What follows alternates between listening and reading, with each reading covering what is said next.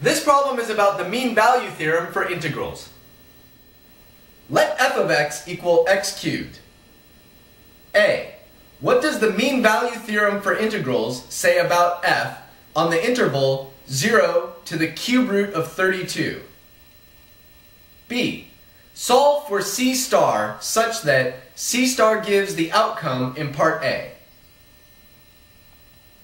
Before we can decide what the mean value theorem says for our function f, we need to make sure that f satisfies the requirements of the theorem. The mean value theorem for integrals is easy. It only requires f to be continuous. Our function is f of x equals x cubed. Indeed, this is a polynomial, so yes, it is continuous.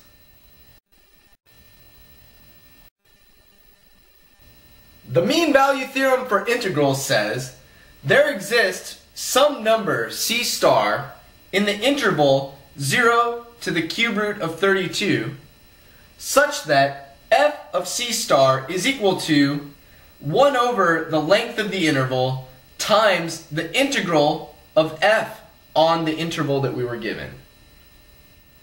We basically have our answer for part A. All that remains is to fill in the formula for f. Therefore, our answer is, there is a number c star in the interval 0 to the cube root of 32 such that c star cubed equals 1 over the cube root of 32 times the integral from 0 to the cube root of 32 of x cubed dx.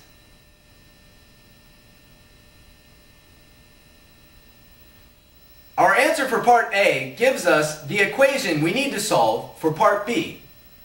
Specifically, we need to solve for c star such that c star cubed will be equal to 1 over the cube root of 32 times this integral. To make things easier, let's break it into pieces and compute the integral first by itself. To compute the integral of x cubed, we need to antidifferentiate using the power rule. Therefore, our integral will be 1 fourth times x to the fourth, and then we take the difference from x equals 0 to x equals the cube root of 32. Therefore, our integral is 1 fourth times the cube root of 32 to the fourth power. In this problem, it will be useful not to simplify too much, so we will leave this expression as it is. Now that we know the value of the integral in our equation, we can plug that back in. We need to solve c star cubed is equal to 1 over the cube root of 32 times 1 fourth the cube root of 32 to the fourth power, where this part right here was the value of the integral. First, let's cancel all the powers of the cube root of 32. We have one power in the denominator here, and 4 powers here. That leaves us with the cube root of 32 to the third power. This is very fortunate because we have the cube root of 32 cubed, which simplifies to just 32.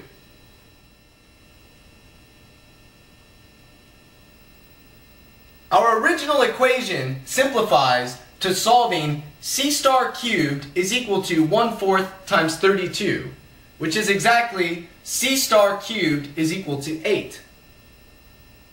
Therefore, c star equals 2. That's our answer for part B. Let's do a quick recap.